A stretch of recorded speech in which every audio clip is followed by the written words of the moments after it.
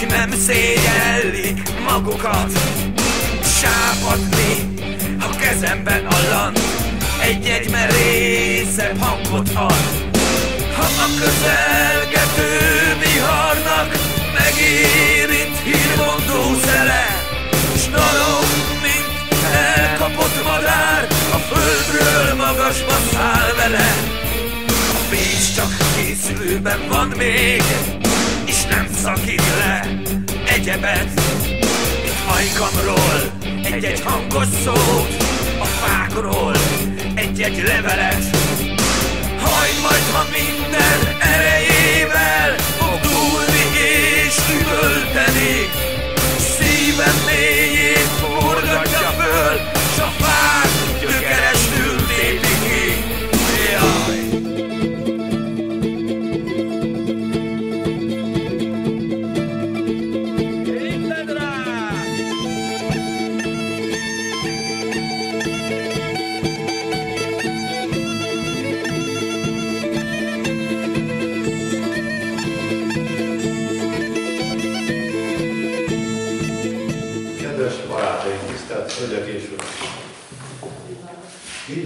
Egyszer nagy szeretettel üdvözlök, aki elfogadta a meghívásunkat, hogy tanácsot hozzunk. Erdély Jánossal, a városunk nagykapos szülöttjével azt is mondhatnám, hogy hagyjuk egymást okoskodni, és okosabbak leszünk. Azért eh, döntöttünk úgy a Magyarok Világszövetsége Petőfi Bizottsága, hogy egy ilyen kihelyezett ülésen és kibővített tanácskodáson megpróbálunk újra új, régi dolgokról szót ejteni, és pedig a téma az egy és ugyanaz Petőfi Sándor, hiányzó életszakaszának a megismerése, ez a cél. A felnőtt korának a felét nem ismerjük, a felnőtt kora felének történetét, életművét, leveleit, műveit egyelőre titkos levéltárak, zárak zárják el a nagy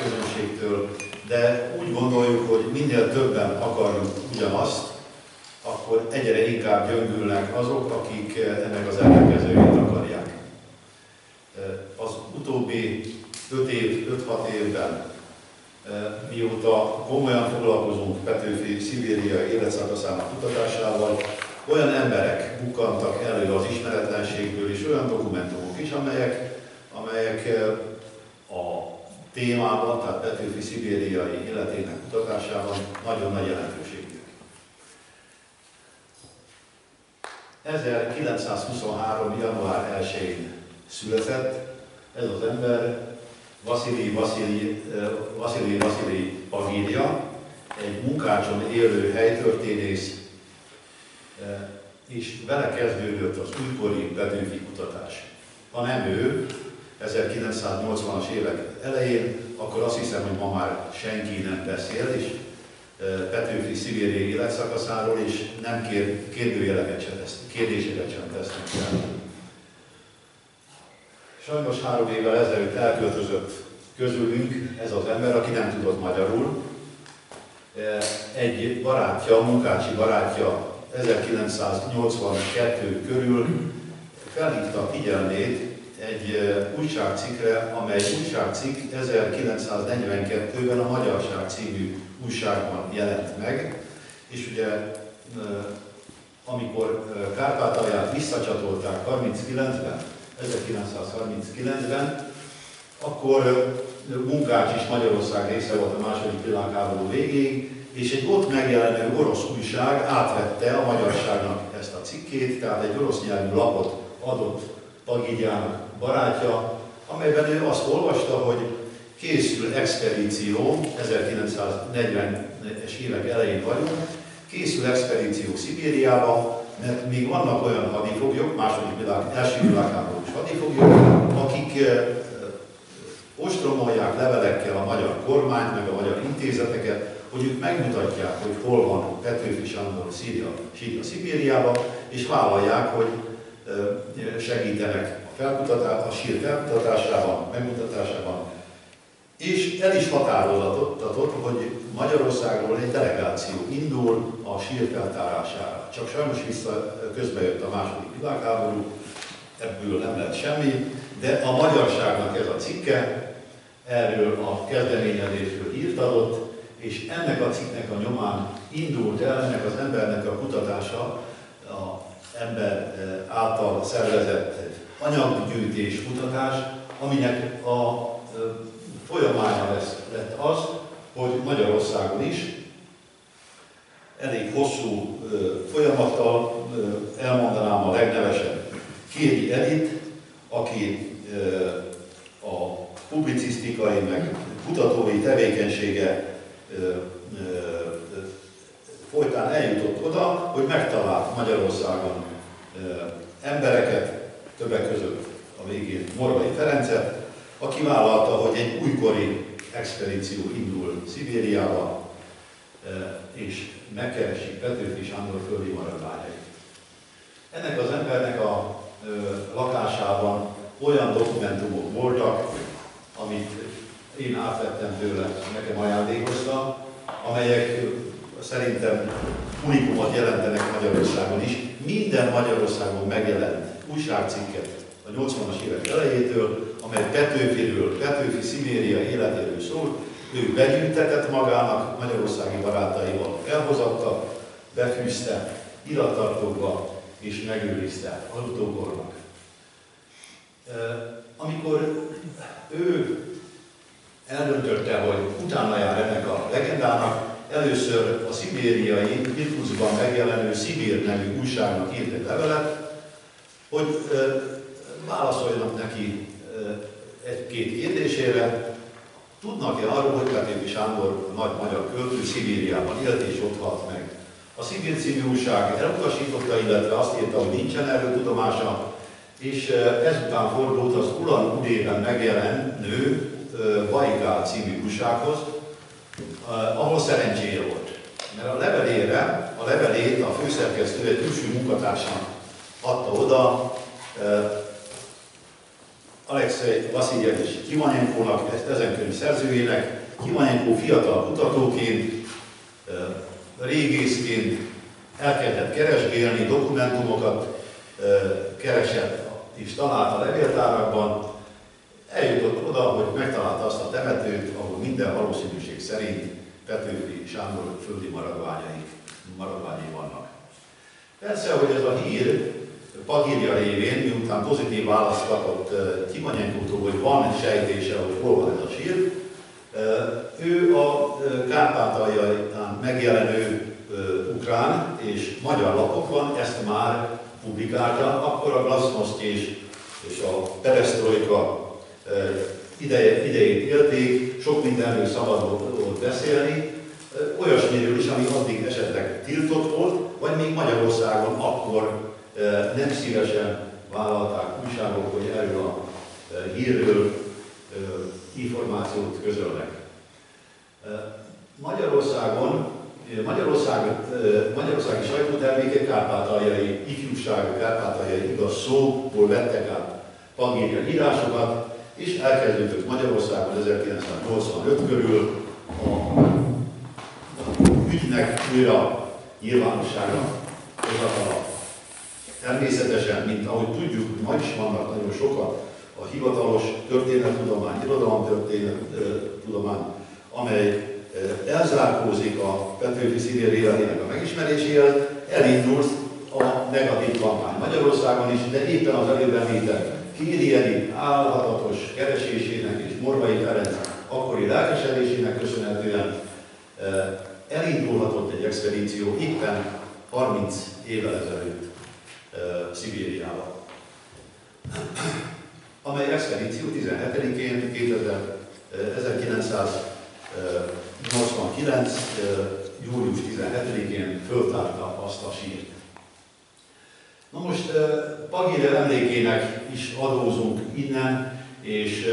csak sajnálni tudjuk azt, hogy az ő munkássága nem tudott teljesen kiteljesedni, hiszen nagyon sok támadást, nagyon sok lekicsinlő, cinikus cikket kellett olvasni önmagáról a magyarországi sajtóban, de végül is halál előtt egy évvel, amikor megismerkedtünk, azt mondta, hogy nyugodtan száll a sírba, hogy végre, végre van szervezet és van lelkesedés, és Magyar, Magyarországon minden remény megvan arra, hogy a általa is kutatott téma, a szibériai élet bizonyossá váljon, és mindenki megismerhesse. Kellett még egy ember, ahhoz, hogy ma itt ülhessünk, ez az ember a Magyar Világ Szövetsége elnöke volt, aki körülbelül tíz évvel ezelőtt, majd pontosan elmondja, egyik írásában, egyik beszédében és írásában föltette a kérdést és a felszólítást, hogy el kell temetnünk Petőfi Sándort. Ennek a felszólalásnak és ezen indítatásnak köszönhetjük mi a Magyarok Szövetség, mi Világszövetség keretén belül, hogy, hogy elindult ez a kutatás. A Magyarok Világszövetsége a ennek épület tulajdonosa a Prosperitas Nagykaposi Alapítvány és Alexei Vasiljevics Ivanyenko segítségével, közreműködésével egy szervezetet hoztunk létre, a Petőfi Sándor Intézetet, amelynek itt van a központja. Ez a intézet a én vezetésemmel és Kisenede József tudományos főmunkatárs közreműködésével tesz meg mindent, amit tud, amit tehet, annak érdekében, hogy minél többet tudjunk Petőfi Sándorról. Most átadnám a szót Vatrubány Miklósnak, mint egyik kezdeményezőjének ezen mozgalomnak.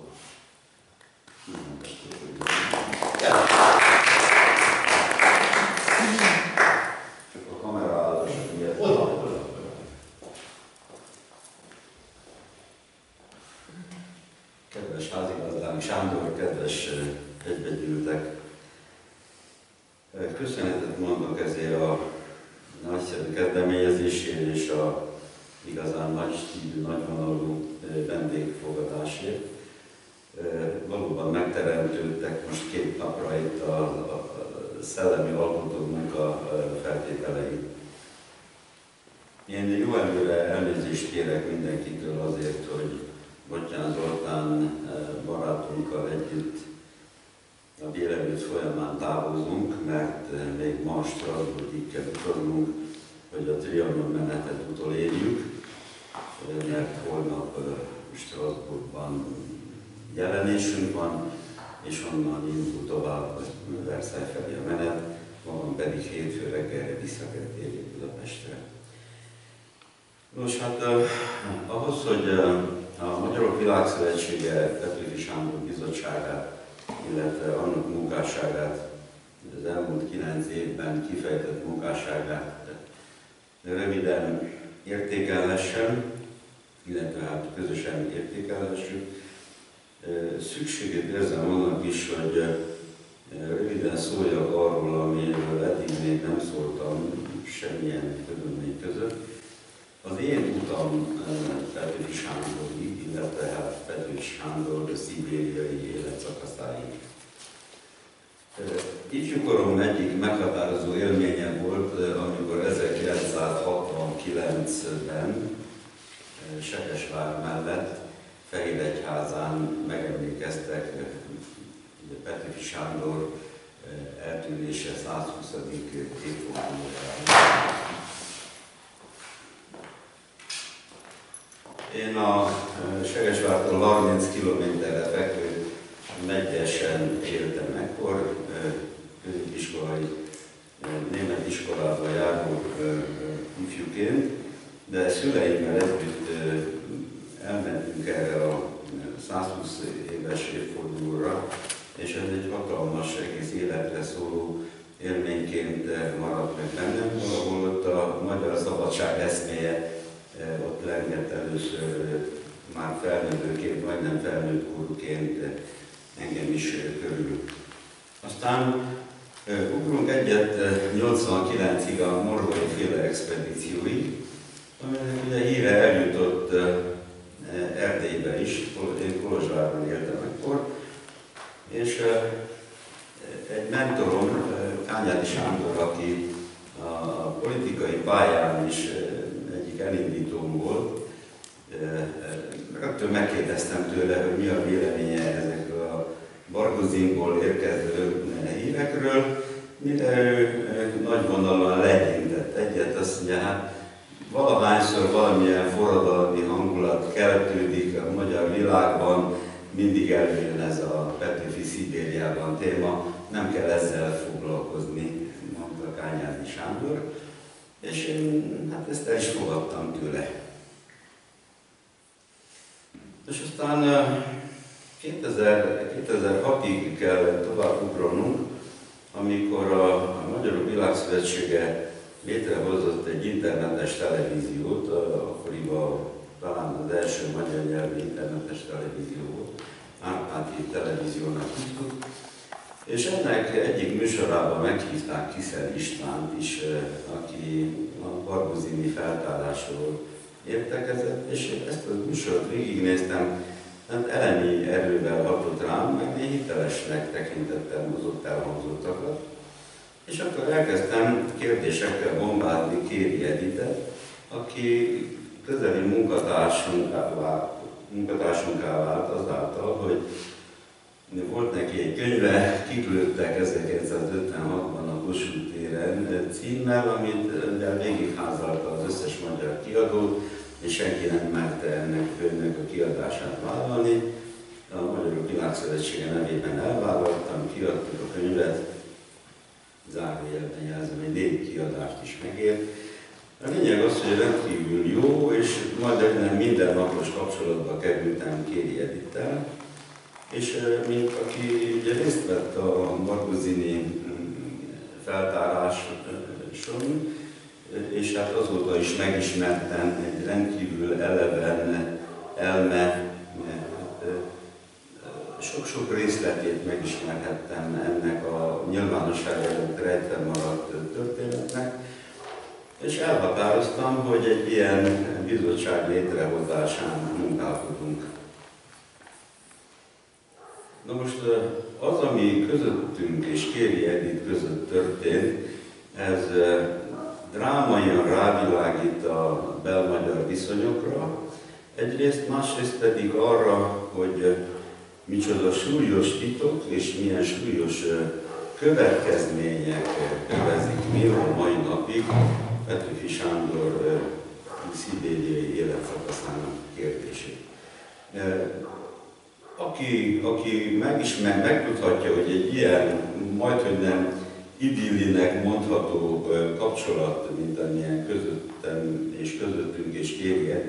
között kialakult, hogy ez hogy dől dugába, és hogyan válik, most már azt hiszem mondhatjuk nyugodtan, hogy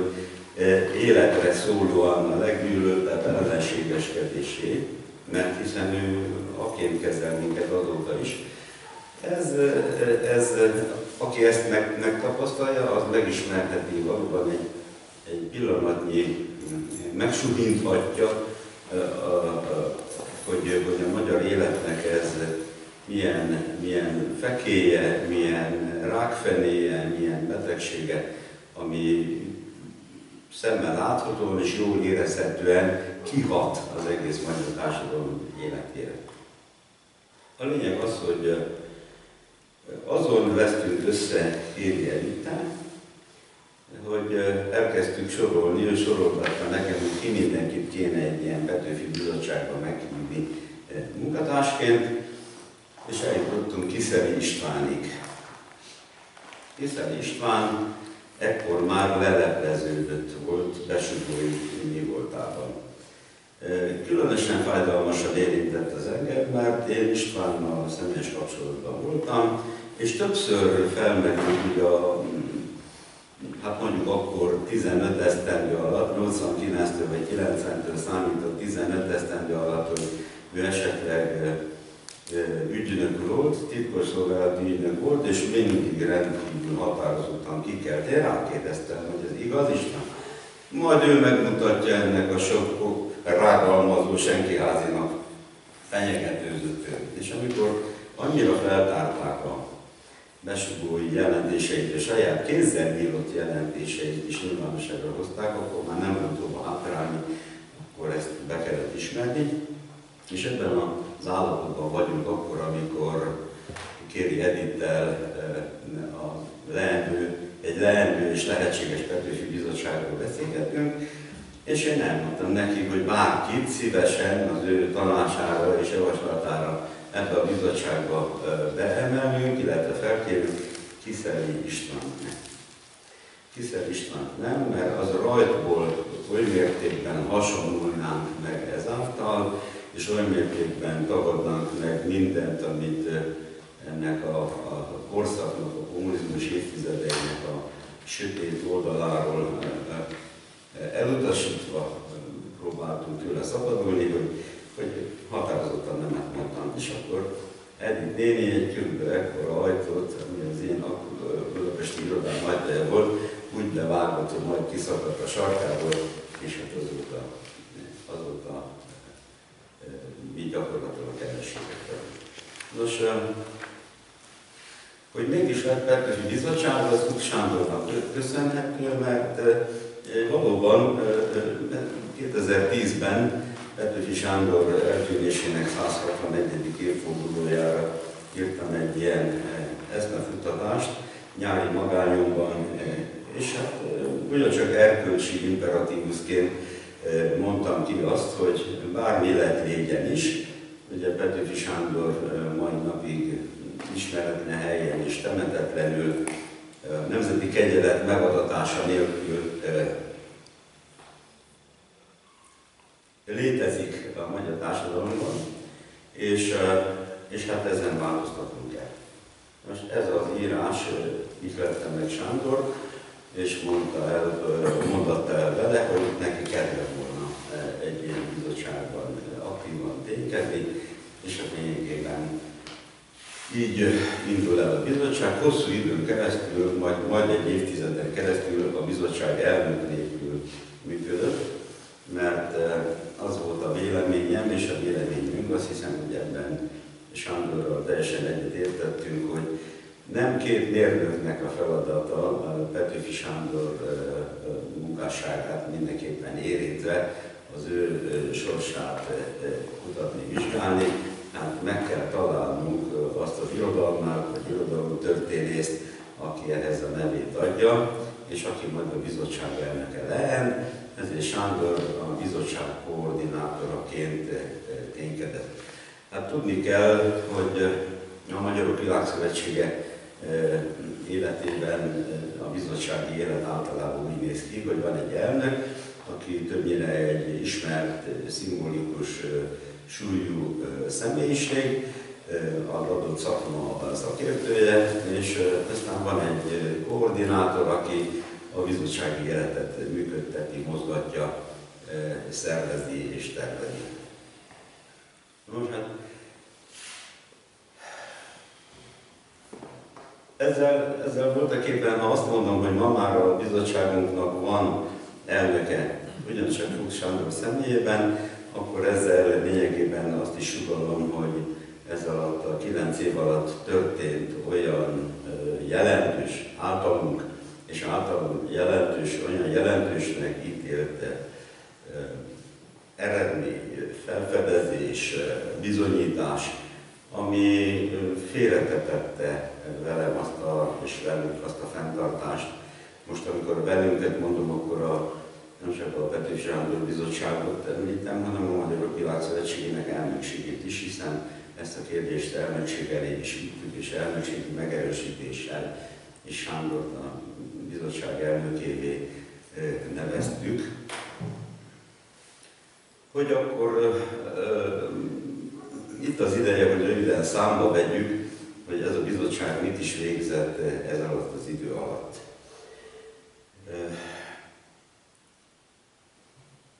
Inkább kronológi, kronológiai sorrendben említeném, és a végén majd összegzén a jelentősége szerint értékelve a, az eredményeket. Hát az első eredménye az volt, hogy kiálltuk azt a szakítópróbát, amit a bizottság létrejöttének puszta híre okozott, hiszen a még elég nagyhatalmú Borvai Ferenc is azon munkálkodott, hogy valahogy ezt a bizottságot lehet, ellehetetlenítse, jól lehet meghívtuk őt is ebbe az alakuló ülésre, és szerettük volna, ha együtt munkálkodik velünk, de ő mégis távol tartotta magát, mint utólag kiderült, oda küldte viszont megfigyelőit, megfigyelőjét Varga Béla személyében, aki a Bargozini feltárás egyik ismert, országosan ismert régésze volt. Most a Morvai, Morvai ekkor ugye 2010-ben már 20 éve választ el minket a Margozini expedíció időpontjától, időközben az ő munkásságuk és a, az a vita, ami a Margozini női csontváz körül keltődött, ez teljesen eh, kifutott, eh, le, le, le, lezajlódott, és a magyar közéletből Petőfi szibériai életszakaszának kérdése teljesen eltűnt. Most mi eh, úgy ítéltük meg, hogy ez egy tisztán politikai kérdés, ez nem irodalmi, nem szakmai kérdés, hogy Petőfi Sándor oda került-e vagy sem. Egyértelműnek tűnt már akkor is minden bizonyítékból, hogy Petőfi Sándor valóban ott élte le élete utolsó szakaszán, és hogy ezt nem lehet a magyar közéletben érvényesen kimondani, ez természetesen csak is politikai kérdés, és úgy ítéltük meg, hogy a Magyarok Világszövetségének van kellő ereje, hogy ezt a magyar államon keresztül verje, és a magyar államot meghátrálásra késztesse a igazsággal szemben. Hát akkor már túl vagyunk az állampolgársági népszavazáson, nem csak annak a puszta lebonyolításán, hanem már túl is értük a, annak a, a viharát, és már, már a második, már a második állampolgársági népszavazás kilátásában, helyezésével és annak erőltetésével a politikai arra is rákényszerítettük, hogy igenis foglalja törvénybe 2010, ugye 2010 tavaszán a, a, az országgyűlés törvénybe foglalta a külhoni magyarok, magyar állampolgárságának visszaadását, lehetővé tevő passzusokat, és hát ugyan viharverten, de nem vert seregként hittünk abban, hogy lesz kellő erőnk ezt az igazságot bizonyítani. Most ezt azért írtam kétszer is körül, mert Morvai Ferenc egy év múlva, egy év múltán ír egy levelet, nem keres engem, és felajánlja minden kutatási eredményét a Magyarok Világszövetsége Petőfi Sándor Bizottságának, mondván, hogy ő tulajdonképpen ez idő alatt megfigyelt minket, azért nem jött el, mert nem tudta, hogy a társaság mit akar, de megfigyelt minket, és meggyőztük arról, hogy mi vagyunk az egyetlenek, akik ezt a kérdést időre vihetjük, ezért felajánlja minden titkos felvételét, még a Moszkvai Magyar Nagykövetség, illetve a Moszkvai Akadémián rejtett kamerával, ki tudja, kik által készített felvételeket is a rendelkezésünkre bocsátotta, és belátásunkra bírta, bízta, hogy mihez kezdünk vele. Következett egy olyan kísérlete, amikor megpróbálta átadni nekünk a csontvázat. Minden áron, nekem olyasmit is mondott, hogy ő már 70 évet betöltötte, ő most már élete utolsó eh, éveiben szabadulni szeretne ez, ez alól a teher alól, betegségek is gyötrik, és hát úgy gondolja, hogy akkor minden estől az egész ügyet átadja nekünk. Csak még egy Pető, egy, egy megamorf Petőfi bizottsági ülésre vár, hogy uh, ott megvitassák, és a bizottság is áldását adja az ő szándékára. Azt hiszem, hogy ez egy nagy csapda lehetett. Végül is a bizottság, a Megamorf Petőfi Bizottság nem ment ebbe bele, ott már érvényesült Kéri Editnek a, az ellenünk táplált ellenszembe, és, és hát a, bizot, a Megamorf Petőfi Bizottság sem adta áldását arra, hogy ő a csontvázat nekünk átadja, és nekem is időközben a, a szakmai, antropológiai szakmai fenntartásaink is felelősödtek, hiszen hogyan tudjuk mi eldönteni, és hogyan tudunk megbizonyosodni arról, hogy valóban a sorozat, amit átad nekünk, az egyrészt épp, másrészt valóban az a csontváze, ami Szibériából előkerült, vagy sem.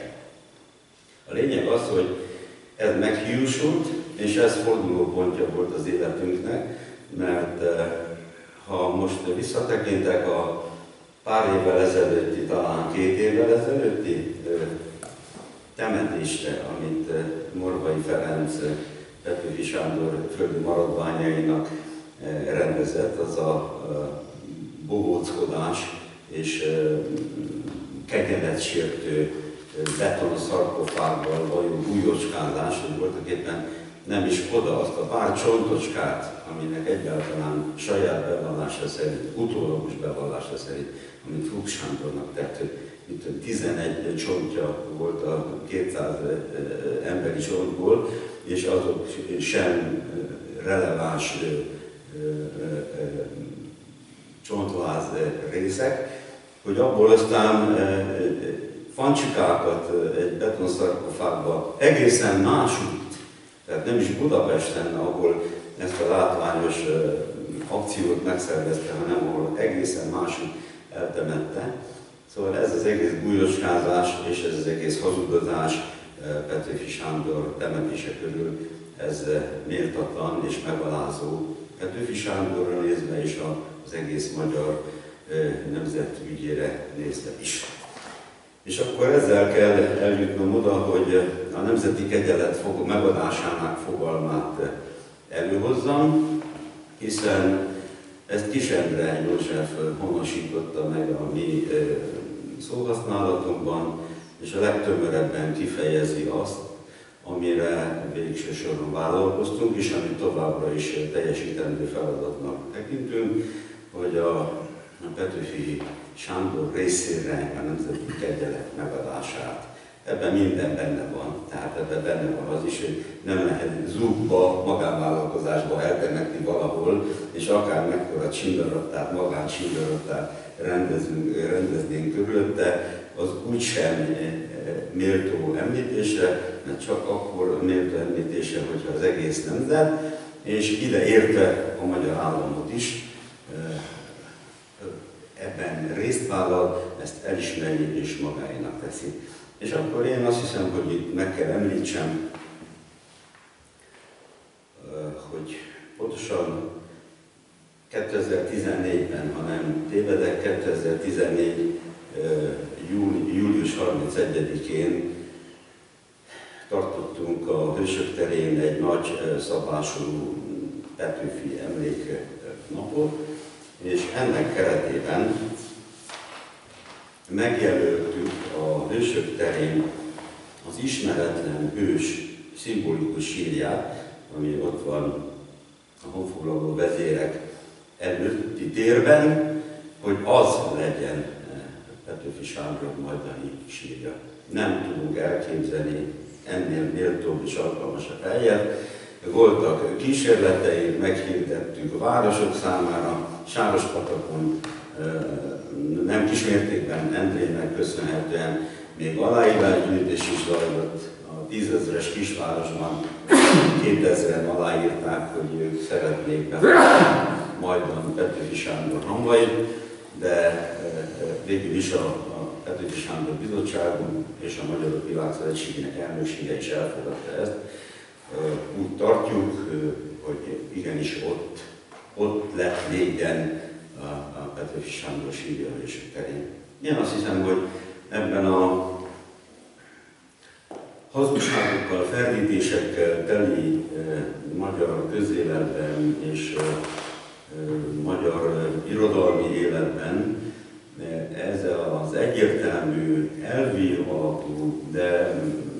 végül is történelmileg és nemzetstratégiailag is alátámasztott elhatározás, gondolat és elhatározás, ez a, ha csak ennyit tett volna a Petőfi Bizottság, hogy ezt így kijelöli, megjelöli, és kellőképpen megindokolja, akkor sem lett volna hiába való a ténykedése. De a bizottságunk ennél, ennél jóval többet tett, hiszen olyan apróságoktól kezdve, hogy Morvai Ferenc például az egyik Petőfi értekezletünkön tudta meg,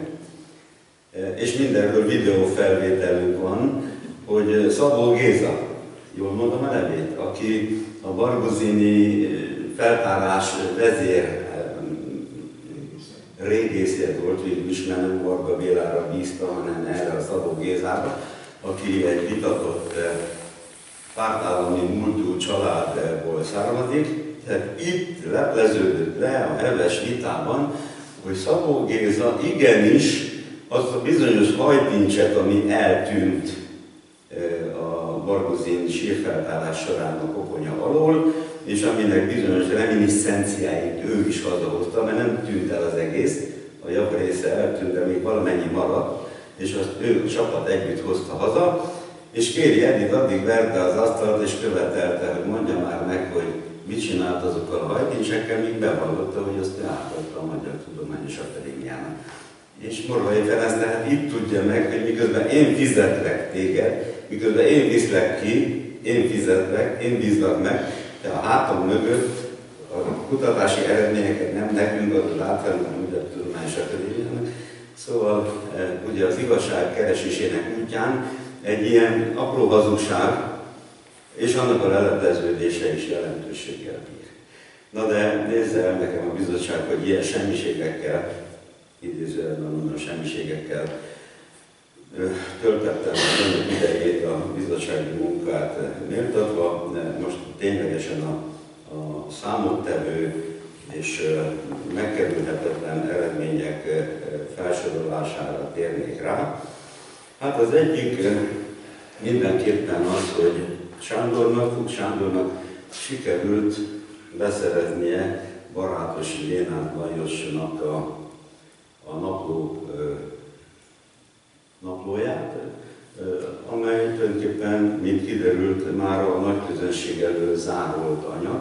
Tehát ma a nagy közönség, hogyha Sándor ezt nem szerezte volna meg, és nem tudtuk volna közé, akkor a nagy közönség ma már nem ismerhetné meg Baratos Lénát Lajosnak a,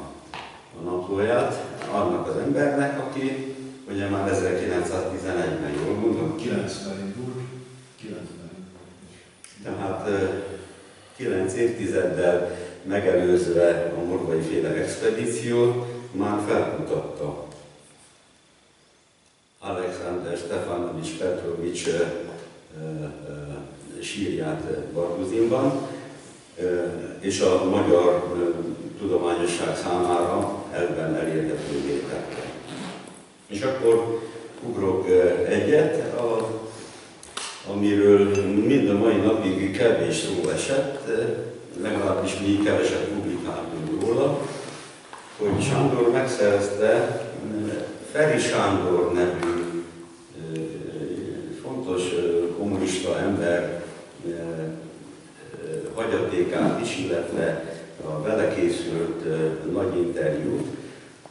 kiderül erről a Feri Sándorról, hogy az első világháború után ő is tibériai hadifogságba került, és ott megismerte Petőfi Sándor egyik unokatestvérét. Majd miután hazakerült a fogságból, hozzásegítette Petőfi Sándor unokatestvérét is a hazatéréshez. És ez a Feri Sándor nem akárki, nem akárki volt, ugye kiderül, hogy a, hogy a, második világháborút követő kommunista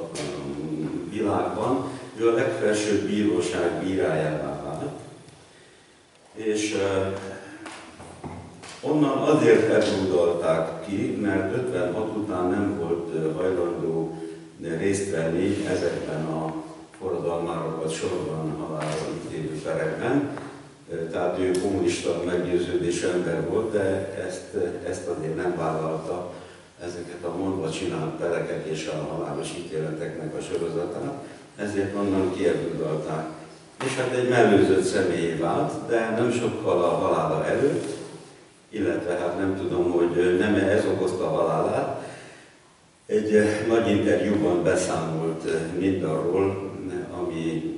életében végzett, és többek között ezt erről, hogy lényegében ő is ott találta, milyen, bizonyítékot, milyen bizonyítékait találta annak, hogy Petőfi Sándor Szibériába hurcolták el, olyannyira, hogy még az egyik unokatestvérét ő maga segítette onnan hazatérni. Tehát ennek a Feri Sándornak a, a, a, a, az anyagának a felkutatása és nyilvánosságra hozatala egy másik rendkívül súlyú cselekedete a Petőfi Sándor Bizottságnak. Egyébként ez volt a döntő löket abban, amikor úgy éreztem, hogy elérkezett az ideje annak, hogy Sándor most már nem csak koordinátornak tekintsük, hanem valóban a bizottság elnökének, hiszen ezzel, ezzel a két anyaggal, a Barátosi Lénárd naplóval és a Feri Sándor nagy interjúval, illetve vallomással, azoknak a feltárásával és a nagy nyilvánosság számára elérhetővé tételével ez a Petőfi Sándor Bizottság már irodalomtörténeti szemmel nézve és említésre méltót produkált. Aztán ezen túlmenően, mindaz, ami ezen túlmenően történt, akár Kivanyenko Alexei professzornak ez a Petőfi szibériai életét szemléltető könyv, amit eredetileg ugyancsak magyarságtudományi füzet formájában adtunk ki, vagy később ez a díszesebb kötésű kiadványnak a megjelentetése, elegészen a, az eleven kapcsolatok ápolásáig, amelyel a ma Burjátországban élő Petőfi leszármazottakkal megteremtette az élő működő kapcsolatot, hát ez nem csak rendkívüli munkásságra, rendkívüli képességre és rendkívüli áldozat vállalási készségre tesz tanúbizonyságot.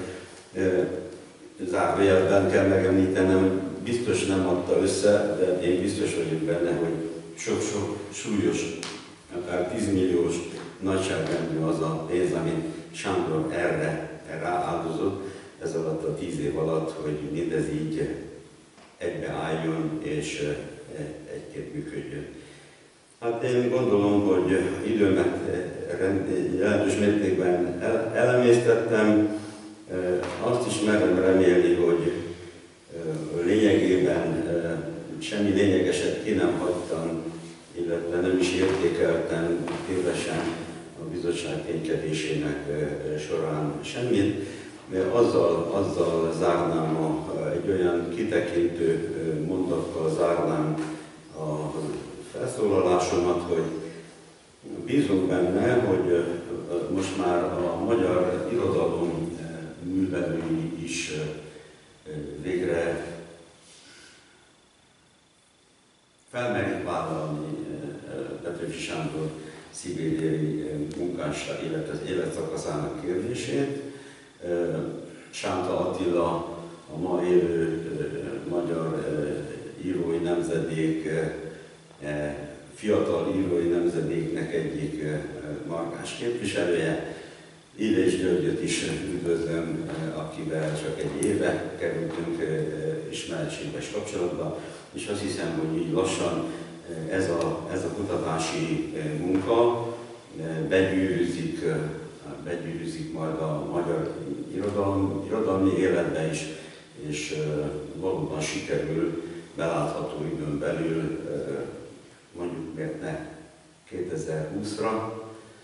már csak Trianon századik évfordulója is megérdemelné, hogy legalább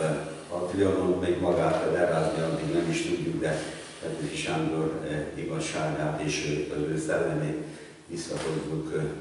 a magyar életbe, mert arra a szellemi erőre, amit ő hordozott, amit ő megtestesített, arra a nemzetünknek változatlanul nagy szüksége van, és hogyha ez a bizottság csak annyit csinál, hogy ezt, a, ezt az igényt ébren tartja, és ennek a megvalósulásán munkálkodik, akkor jelentősebb tesz a magyar nemzet asztalára. Köszönöm a figyelmet!